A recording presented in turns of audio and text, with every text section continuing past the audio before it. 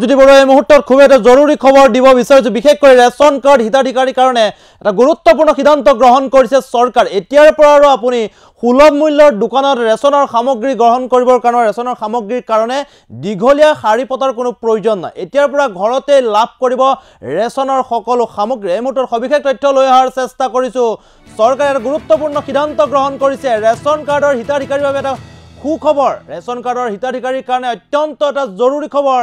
এতিয়াৰ পৰা ৰেচনৰ সামগ্ৰী সামগ্ৰীৰ বাবে সুলভ মূল্যৰ দোকানত দীঘলীয়া শাৰী পতাৰ কোনো প্ৰয়োজন নাই। দীঘলীয়া শাৰী নপতাকৈ এতিয়াৰ পৰা আপুনি ঘৰতেই লাভ কৰিব ৰেচনৰ সামগ্ৰী ৰেচনৰ সকলো সামগ্ৰী এতিয়াৰ পৰা ঘৰতে লাভ কৰিব। ঘেঁহু আটা চাউল সকলো চেনি সকলো ঘৰতে লাভ কৰিব।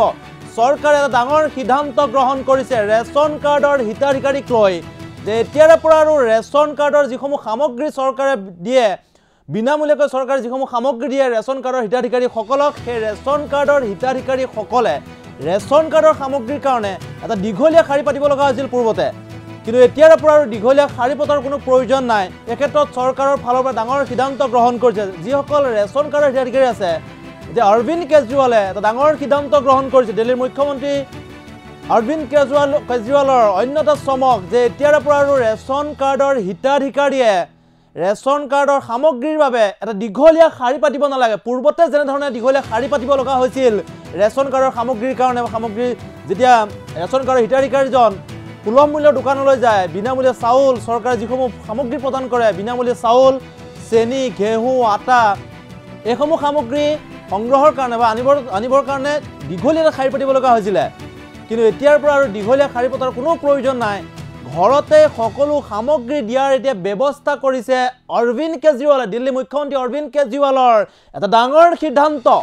যে এতিয়াৰে পৰা ৰেচন কাৰ্ডৰ হিতাধিকাৰীয়ে ঘৰতে ৰেচন কাৰ্ডৰ বা ৰেচনৰ যিসমূহ সামগ্ৰী চৰকাৰে বিনামূলীয়াকৈ দিয়ে জনসাধাৰণক সেইসমূহ সামগ্ৰী ঘৰতে উপলব্ধ হ'ব। ঘৰ সুলভ মূল্যৰ দোকানলৈ যোৱাৰ কোনো প্ৰয়োজন নাই। ঘৰতে ৰেচন কাৰ্ডৰ সকলো সামগ্ৰী উপলব্ধ হ'ব। অৰবিন্দ কেজৰিৱালে এই ক্ষেত্ৰত এটা বিশেষ পদক্ষেপ গ্ৰহণ কৰিছে। জনসাধাৰণে পূৰ্বতে সিদ্ধান্ত গ্ৰহণ কৰিব বিচাৰিছে কিন্তু মাজত বিভিন্ন বিসংগতিৰ সৃষ্টি হৈছিলে। পুনৰবাৰ দেখিবলৈ পঞ্জাৱত পোন বাবে সিদ্ধান্ত এনেধৰণৰ পদক্ষেপ গ্ৰহণ কৰা হৈছে। পঞ্জাৱ চৰকাৰৰ গ্ৰহণ কৰা হৈছে। ইয়াৰ পৰৱৰ্তী সময়ত দিল্লীতো গ্ৰহণ কৰে পৰৱৰ্তী সময়ত অন্যান্য ৰাজ্যতো এই উপলব্ধ হ'ব সকলো সামগ্ৰী। এই কথা ঘোষণা কৰিছে অৰবিন্দ কেজৰিৱালে। পোন প্ৰথমবাৰৰ বাবে পঞ্জাৱ চৰকাৰে সিদ্ধান্ত গ্ৰহণ কৰিছে। আৰু দিল্লীৰ মুখ্যমন্ত্ৰীগৰাকীয়ে পঞ্জাৱত উপস্থিত ঘোষণা কৰিছে পৰৱৰ্তী সময়ত দিল্লীতো এনেধৰণৰ পদক্ষেপ হ'ব বা ব্যৱস্থা গ্ৰহণ কৰা হ'ব।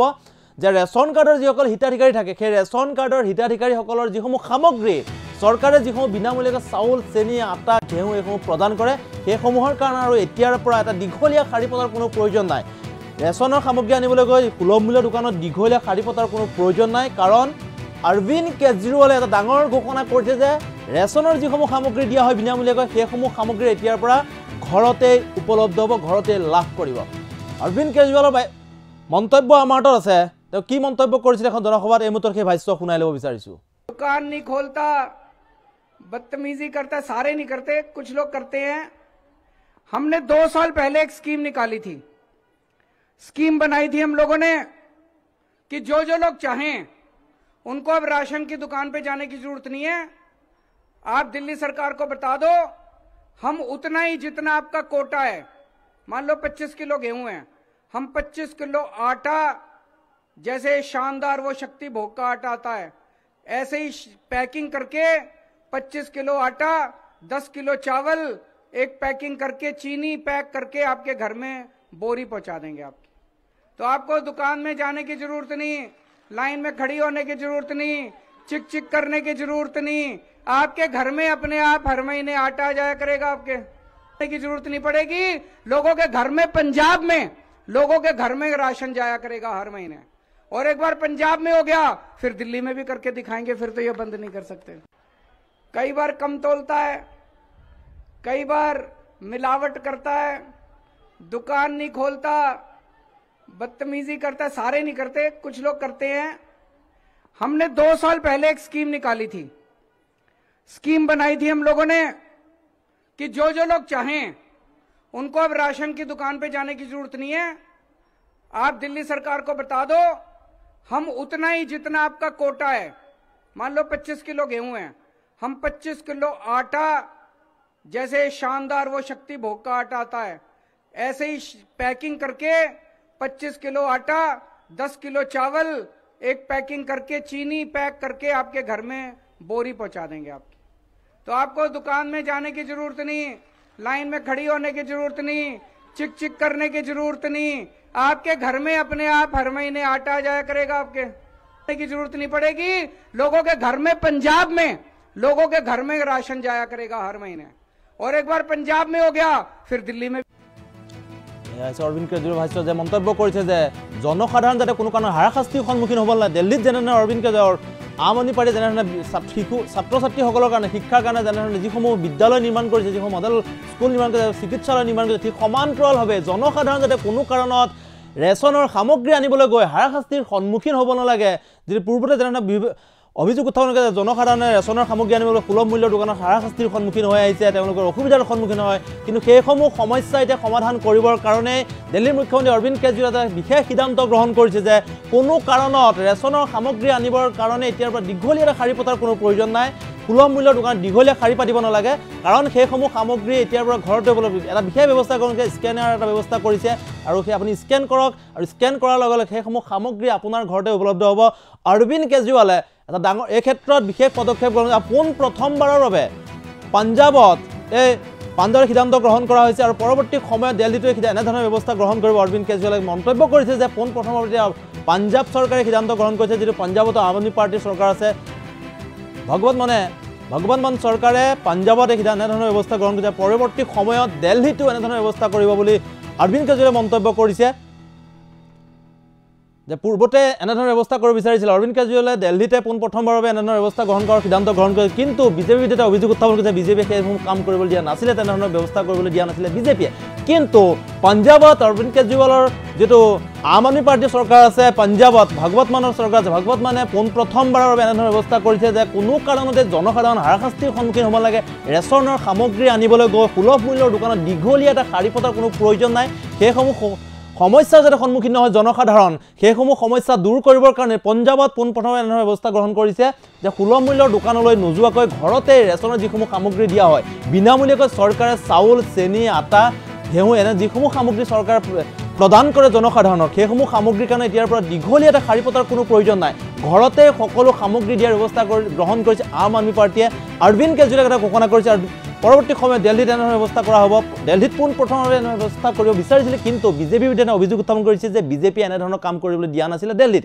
কিন্তু পাঞ্জাৱত পোনপ্ৰথমবাৰৰ বাবে ৰেচনৰ সামগ্ৰীৰ ক্ষেত্ৰত বিশেষ ব্যৱস্থা গ্ৰহণ কৰিছে যে ৰেচন কাৰ্ডৰ যিসকল হিতাধিকাৰী আছে সেই ৰেচন কাৰ্ডৰ হিতাধিকাৰীসকল যাতে হাৰাশাস্তিৰ সন্মুখীন হ'ব নালাগে সমস্যাৰ সৃষ্টি হ'ব নালাগে। ৰেচনৰ সামগ্ৰী আনিবলৈ গৈ তেওঁলোকৰ মাজত কোনো সমস্যাৰ সৃষ্টি হ'ব নালাগে। তাৰ প্ৰতি লক্ষ্য ৰাখিয়ে ঘৰে ঘৰে সামগ্ৰীসমূহ দিয়াৰ ব্যৱস্থা গ্ৰহণ কৰিছিলে পাঞ্জাৱ আম আদমি পাৰ্টীৰ চৰকাৰে। এই কথা ঘোষণা কৰিছে অৰবিন্দ কেজৰিৱালে। এখন জনসভাত তেওঁ অংশগ্ৰহণ কৰিছিলে আৰু অংশগ্ৰহণ কৰি তেওঁ মন্তব্য কৰিছে যে জনসাধাৰণৰ যিসমূহ সমস্যা থাকে সেইসমূহ সমস্যা তেওঁ দূৰ কৰি আছে যিমান দূৰ পাৰিছে তেওঁ দূৰ কৰিছে ফ্ৰী বিজুলী দিছে সমান্তৰালভাৱে ছাত্ৰ ছাত্ৰীৰ কাৰণে শিক্ষাৰ্থীৰ কাৰণে যেনেধৰণে বিদ্যালয়সমূহ নিৰ্মাণ কৰিছে বা চিকিৎসালয়সমূহ নিৰ্মাণ কৰি আছে। আৰু তাৰ পৰৱৰ্তী পৰ্যায়ত তেওঁলোকে এতিয়া দেখিবলৈ পোৱা গৈছে যে ৰেচনৰ সামগ্ৰীৰ ক্ষেত্ৰত বিশেষ ব্যৱস্থা গ্ৰহণ কৰিছে যে কোনো কাৰণত যাতে জনসাধাৰণে ৰেচনৰ সামগ্ৰী আনিবলৈ গৈ দীঘলীয়া শাৰী পাতি থাকিব নালাগে তেনে ব্যৱস্থা গ্ৰহণ কৰিছে কাৰণ ঘৰতেই ৰেচনৰ সকলো সামগ্ৰী দিয়াৰ ব্যৱস্থা গ্ৰহণ কৰিছে আম আদমি পাৰ্টীৰ চৰকাৰে আমি পুনৰবাৰ অৰবিন্দ কেজৰিৱালে সেই ভাষ্যটো শুনাই ল'ব বিচাৰিছোঁ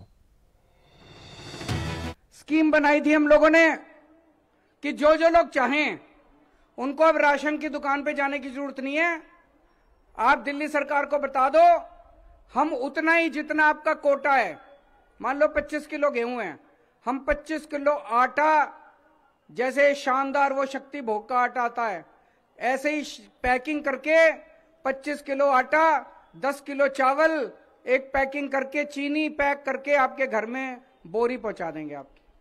तो आपको दुकान में जाने की ज़रूरत नहीं, लाइन में खड़ी होने की ज़रूरत नहीं चिक चिक करने की ज़रूरत नहीं। आपके घर में अपने आप हर महीने आटा जाया करेगा आपके। की ज़रूरत नहीं पड़ेगी। लोगों के घर में, पंजाब में, लोगों के घर में राशन जाया करेगा हर महीने। और एक बार पंजाब में हो गया, फिर दिल्ली में भी करके दिखाएँगे, फिर तो ये बंद नहीं कर सकते। कई बार कम तोलता है, कई बार मिलावट करता है, दुकान नहीं खोलता, बदतमीजी करता है, सारे नहीं करते, कुछ लोग करते हैं। हमने दो साल पहले एक स्कीम निकाली थी। स्कीम बनाई थी हम लोगों ने कि जो जो लोग चाहें, उनको अब राशन की दुकान पे जाने की ज़रूरत नहीं है। आप दिल्ली सरकार को बता दो, हम उतना ही जितना आपका कोटा है, मान लो 25 किलो गेहूँ है, हम 25 किलो आटा, जैसे शानदार वो शक्ति भोग का आटा आता है, ऐसे ही पैकिंग करके 25 किलो आटा 10 किलो चावल एक पैकिंग करके, चीनी पैक करके आपके घर में बोरी पहुँचा देंगे आपकी। तो आपको दुकान में जाने की ज़रूरत नहीं, लाइन में खड़ी होने की ज़रूरत नहीं चिक चिक करने की ज़रूरत नहीं। आपके घर में अपने आप हर महीने आटा जाया करेगा आपके। की ज़रूरत नहीं पड़ेगी। लोगों के घर में, पंजाब में, लोगों के घर में राशन जाया करेगा हर महीने। और एक बार पंजाब में हो गया, फिर दिल्ली में भी करके दिखाएँगे, फिर तो ये बंद नहीं कर सकते। कई बार कम तोलता है कई बार मिलावट करता है, दुकान नहीं खोलता, बदतमीजी करता है, सारे नहीं करते, कुछ लोग करते हैं। हमने दो साल पहले एक स्कीम निकाली थी। स्कीम बनाई थी हम लोगों ने कि जो जो लोग चाहें, उनको अब राशन की दुकान पे जाने की ज़रूरत नहीं है। आप दिल्ली सरकार को बता दो, हम उतना ही जितना आपका कोटा है, मान लो 25 किलो गेहूँ है, हम 25 किलो आटा जैसे शानदार वो शक्ति भोग का आटा आता है, ऐसे ही पैकिंग करके 25 किलो आटा 10 किलो चावल, एक पैकिंग करके चीनी पैक करके आपके घर में बोरी पहुँचा देंगे आपकी। तो आपको दुकान में जाने की ज़रूरत नहीं, लाइन में खड़ी होने की ज़रूरत नहीं चिक चिक करने की ज़रूरत नहीं, आपके घर में अपने आप हर महीने आटा जाया करेगा आपके। की ज़रूरत नहीं पड़ेगी, लोगों के घर में, पंजाब में, लोगों के घर में राशन जाया करेगा हर महीने। और एक बार पंजाब में हो गया, फिर दिल्ली में भी करके दिखाएँगे, फिर तो ये बंद नहीं कर सकते।